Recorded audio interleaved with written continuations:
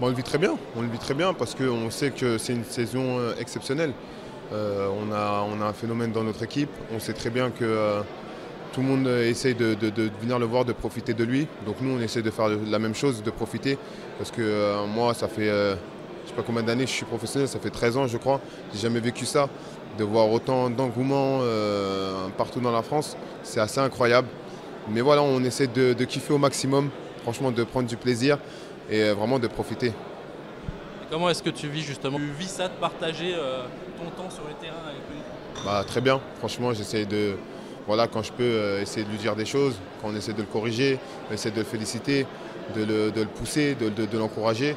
C'est une, une, très très belle expérience pour moi. J'essaie de, voilà, de, de profiter au maximum, vraiment. Et, non, c'est que du plaisir. Vraiment, c'est que du plaisir. Moi, je l'ai connu quand j'étais à Nanterre à l'époque. Et je le voyais quand il était tout jeune, j'allais le voir le dimanche euh, jouer, parce que j'aimais bien aller voir euh, les, les, cadets, euh, les cadets jouer. Et je savais qu'il allait devenir quelque chose. Je, lui disais tout le temps, quand je te vois, je suis content, parce que c'est quelqu'un qui, respire la, bonne humeur, qui est très humble et bosseur, et n'est pas quelqu'un qui a la grosse tête. Donc tu as d'autant plus d'attache à cette personne.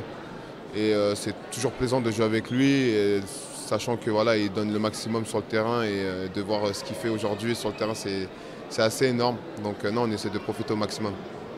Et vous, en plus, ça vous permet